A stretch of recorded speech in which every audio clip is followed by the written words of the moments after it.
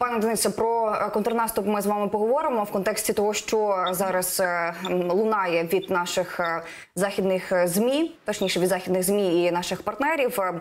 Про це пише CNN, що перші контрнаступальні операції України мають менший успіх ніж очікували на заході. А російські війська виявили більшу компетентність ніж вважалося. Про це розповіло два західних посадовців і високопосадовець Сполучених Штатів Америки з військової сфери. Ну це дуже дивно дивно е, чути такі заяви від цих посадовців, тому що е, відповідно контрнаступ е, ем, комплексно вже по суті триває, тому що ми ефективно знищуємо і логістику окупантів, і бази, і те, що ми вчора бачили, це міст в Чонгарі був частково пошкоджений ймовірно нашими силами. Що можете сказати, чому ось?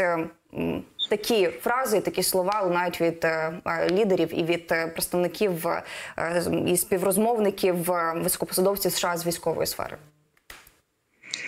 Ну, во-первых, э, действительно, э, контрнаступление э, практически уже идет и идет неплохо.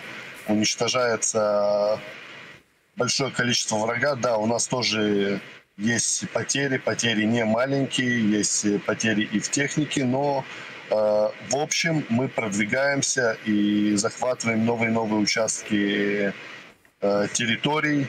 А то, что многие, как бы, скажем, э, эксперты тоже говорят о том, что чуть ли не у нас провальное контрнаступление, но это понятно, что многие будут лить различную грязь, скажем так, и на Збройные силы Украины, и на командование Украины. Но, опять же, как мы видим, и это видит э, не только Украина, видит и Россия. Мы видим, что Пригожин постоянно тоже выступает э, в телеграм-каналах.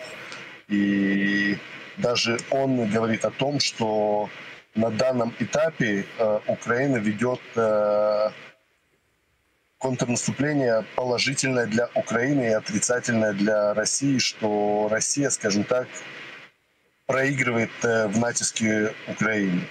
А то, что есть э, различные, скажем так, э, эксперты, которые утверждают, что контрнаступление чуть ли неудачное, ну, говорят, говорят многие вещи обо всем. Надо двигаться, как мы двигаемся, и двигаться к победе. Так, Денише, зокрема, одним з таких факторів сповільнення контрнаступу збройних сил України є це надзвичайно інтенсивне мінування території. Про це президент сказав в одному з інтерв'ю і зазначив, що зокрема ем, контрнаступ теперішній він буде дещо схожий на осінній минулорічний. Що спершу, ніби все йде повільно, повільно, а потім різкий прорив, обвал е, оборони окупантів на тій чи іншій ділянці. Ну і певна річ, усі побачать, що е, до чого цього. От наскільки мінування території затримує час, якими є е, основні такі е, необхідні дії, так аби просуватися по замінованій території? От ви як військовий поясніть. Ну, во-первых, э, действительно очень тяжело э, любое продвижение, потому что территорию они, оккупанты, заминировали очень большую, и нам тяжело продвигаться. Поэтому вначале нужно посылать э, тяжелую технику, которая может разминировать эти заминированные поля и понятным э, э, как бы это понятно, что тем самым наше контрнаступление, оно затягивается, оно не столь быстрое, потому что, опять, очень большая территория заминирована.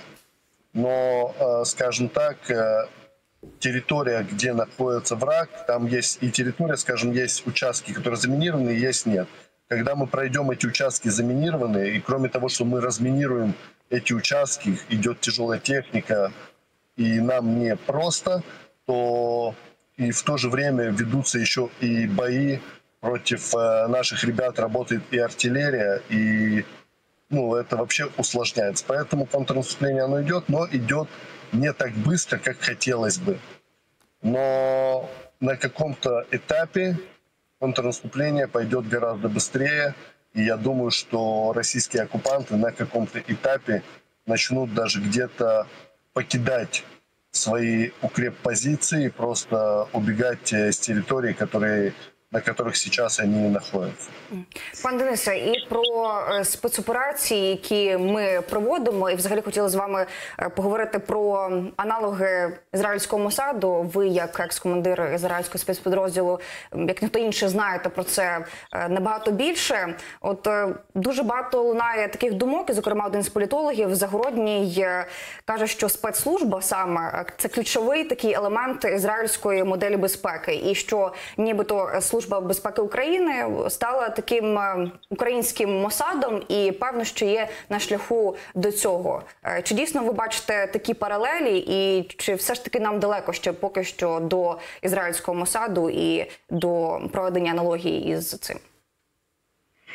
Ну, во-первых, э, скажем так, э, это понятное дело, что до израильского Масада это далеко, потому что израильский Масад очень-очень много лет э, уже, скажем так, в этой отрасли, и он с каждым годом усовершенствуется и усовершенствуется, но э, служба безопасности Украины делает очень большие шаги к тому, чтобы стать как израильский Мусад, и есть уже определенные успехи и определенное продвижение у этой структуры. Я думаю, что не за горами, когда, э, когда скажем так, служба безопасности Украины достигнет э, высокого уровня и будет э, похожа на нынешний МУСАД.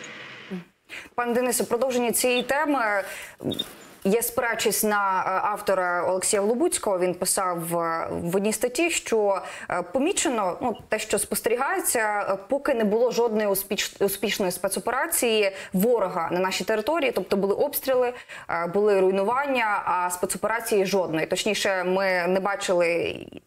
Жодної ворожої операції, яка була б успішна, ми з цим не зіткнулися. На вашу думку, це все ж таки ем, показник рівня наших українських структур СБУ, те, що вони протидіють е, цим, чи все ж таки це прогалина в спецслужбах Російської Федерації, те, що там не все так е, ефективно налагоджено спрацьовано, щоб проводити якісь от такі от глобальні е, операції на території нашої країни?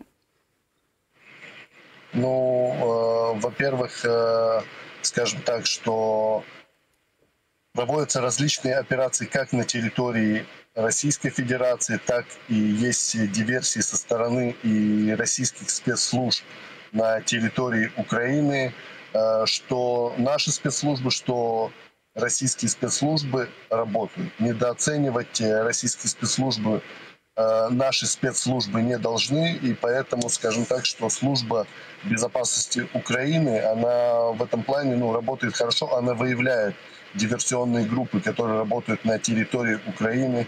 И э, опять же, служба безопасности Украины очень четко работает на территории Российской Федерации, просто это не сильно афишируется. Так, пане Денис, розуміємо, що дуже багато чого стане відомо якраз таки опісля завершення війни, ймовірно, так про якісь такі надскладні операції, тому що в принципі наша розвідка е, показує результат, дуже хороший результат в плані того, що дорозвідується і е, ситуація, і якісь координати вони отримують періодично. Бо ми бачимо, що бавовна вона на тимчасово окупованій території є в дуже багатьох місцях. От якраз таки це і Бердянський район, це і Маріуполь сьогодні вранці. Там інформація досі ще уточнюється. Це і якісь склади з боєприпасами, які детонують потім по е, декілька годин. От е, наскільки ось такі знищення вони надокучають ворогу. Це перше. І друге, про що хотілося б з вами поговорити, це от систему отримання розвідданих, мабуть, так. От е, про це трохи детальніше, якщо можемо, звісно, згадати. Ну, во-первых, э, это, конечно, помогает то, что э, происходят различные диверсии на территории России. И в основном это происходит потому, что очень хорошо работает э, агентурная сеть, которую э, Украина развивает на территории России. Есть очень много которых, скажем так, людей, которые сотрудничают э, с нашими спецслужбами, сотрудничают с разведкой Украины. Опять же, это все агентурная сеть, которую выстраивает Украина на территории России.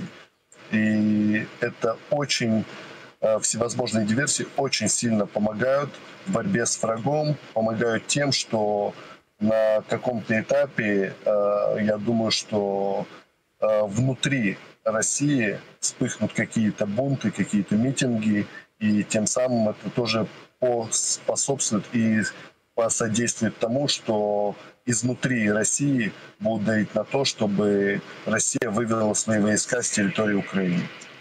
Пане Денисе, продовжені теми е, диверсій е, на території Російської Федерації, отримання розвідданих і також е, поєднання цього всього із також Мосадом українським, який може бути в подальшому, який, звісно, хотілося б сформувати в Україні.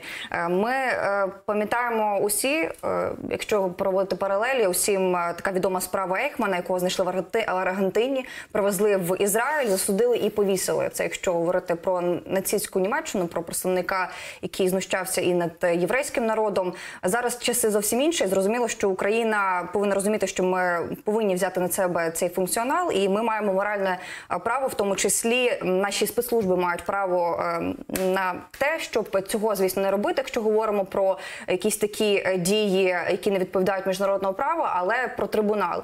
І на вашу думку, як після завершення війни, після нашої перемоги, шукати тих злочинців на території Російської Федерації? Я не кажу про тих е, відомих колаборантів чи представників російської влади, а про тих, хто, наприклад, скоїв злочини на території України, там Буча, Ірпінь, е, Ізюм, е, південь нашої країни, і собі поїхали надалі в Чувашію, Владивосток чи, наприклад, десь в Бурятію. Вони собі там засядуть і все. Чи можливо їх знайти, чи можливо зробити з ним розправу, звісно, в межах міжнародного права?